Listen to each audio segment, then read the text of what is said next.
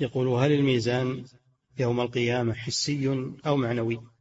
لا حسي له كفتان له كفتان وله لسان. ميزان حسي. اللي يقولون إنه معنوي المعتزلة.